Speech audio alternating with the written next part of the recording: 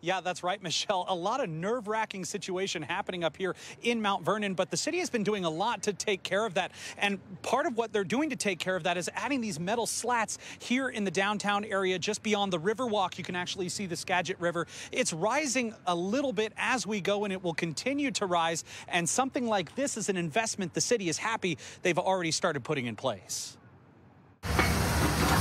glad to see that they are prepared for it. Mike Haffey has lived in Mount Vernon for about 70 years, and this is the first time he's seeing this important work done in person. When I was in my younger days, we'd be doing the sandbags and stuff, but uh, yeah, that takes this wall takes a lot of that off there. The wall he's talking about is this retaining wall that goes along the Skagit River to block rising floodwaters from blanketing downtown Mount Vernon. All day, city crews have been at work putting those metal bars in place because it's expected that the Skagit will reach major flood stage by tomorrow morning. And on top of that, the water will keep rising another four to five feet, nearly topping an old record that was set over 30 years ago. We're closely monitoring the weather. We're watching river levels. Peter Donovan with the city says it's important to get this work done early, so if there's an emergency or something surprising happens, they aren't left scrambling to prepare for potential flooding. Just ensuring that that flood protection is in place for our downtown businesses. Because Haffey says the river is nothing to mess with. It's scary. I mean, it comes up, especially when the stuff comes down and everything. Despite the flood wall in place, Haffey still has to worry about what this week will bring because he lives west of the Skagit. Protects the town, but I'm on the other side of the river. He says the last time the river nearly got to his house was 1990, the year that record-setting flood happened. Came within two, two inches of coming in the house. Just keep an eye on it and watch it and be prepared. But I'm like holding on. I can't fight against the current anymore. So after like 10 seconds, I like let go and like pray for the best. Developing now after a dramatic rescue from a raging storm drain, two boys are home safe in Federal Way. Really scary. And one of the boys' moms is now calling for safety measures so it doesn't happen to any other kids. KOMO's Tammy Mutasa reports from Federal Way with the latest. Good evening. Everybody is calling this a miracle. The water behind me was deeper and more deceptive than the boys thought when they got sucked into that storm drain. And tonight you can see the signs saying keep out, but the families say more needs to be done. So it was just so scary. Just like thinking about it just makes my legs kind of shaky. One day after Elijah's life was spared, the 11 year old is reliving his harrowing experience after he and his friend were sucked into the storm drainage tube. The kids had been tossing rocks in a storm pond when they fell in and got swept underwater by the force of the current. It was pretty scary.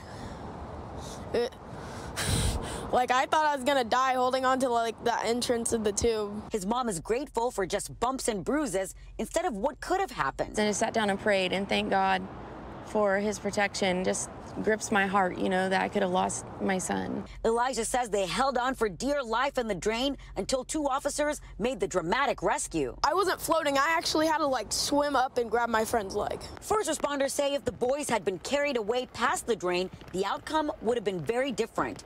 Christine is thankful to the officers who saved the boys' lives. She is calling for more safety measures around the storm drain, like fencing or a grate. Especially for kids that don't see what that would be. I think most of the time when it's not raining hard, it's probably not water there where people don't really think about the potential dangers on seasons like this. I asked Kids Corner apartment complex who owns the property. They told me no comment. I asked the city the same question. They sent me this email saying, We're thankful for our outstanding first responders who were quick on the scene to help the two young men. Pending further review, the city has no further comments at this time.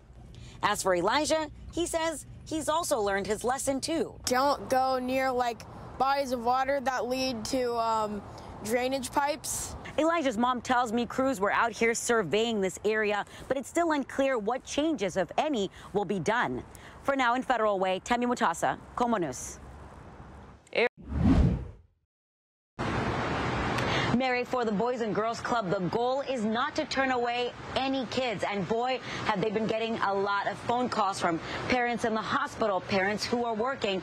And now they're all wondering if this is going to be happening again.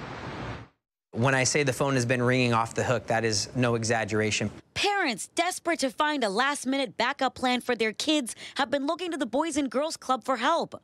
CEO Tim Motz is also a parent of three in Bellevue schools. We need to make sure that kids have a safe place to go, not only my three kids, but the thousands of other kids in Bellevue. The Boys and Girls Club in Bellevue expects more than 750 kids to walk through their doors tomorrow after staffing shortages force school cancellations in Bellevue, Seattle, and Kent. Staff is getting facilities ready and working to secure meals. Now we're in the main game room at the Boys and Girls Club of Bellevue that'll be open this Friday for kids.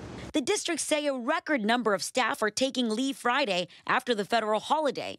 A statewide shortage of substitute teachers is leaving districts stretched thin. As stressed out as it is for me, I do know that I'm one of the lucky ones, and I really feel for the families who don't have options. There's no backup plan at all.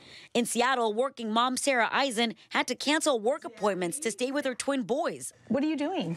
Sleeping. One has special needs. He already lost a teacher in the vaccine mandate. Now, this. And you're talking about the most vulnerable population. And it's not like you can just put anybody in these classrooms. So I'm concerned that Luke's not getting any kind of education right now. And it's really upsetting. They worry the staffing shortages will become a common occurrence in the future. Boy, if this becomes an ongoing challenge, what can the Boys and Girls Club do? What can local school districts do? Really, educators in general? How can we figure out a solution to make sure that the kids aren't the ones who suffer?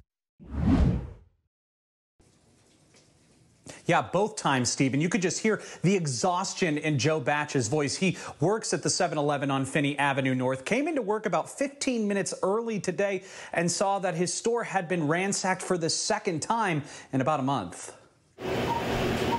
It's devastating, honestly. You know, I'm just trying to have a normal job. But rather than making coffee and counting the till to start his workday, 7 Eleven associate Joe Batch was calling police after two people drove a car into the front of his store and stole all of their tobacco products. You know, beer's heavy to carry, so they went for the lightest, most expensive thing, tobacco. According to Batch, after looking at surveillance video, he claims two men grabbed a trash bag from the gas pumps of the 7 Eleven to throw all the tobacco in there.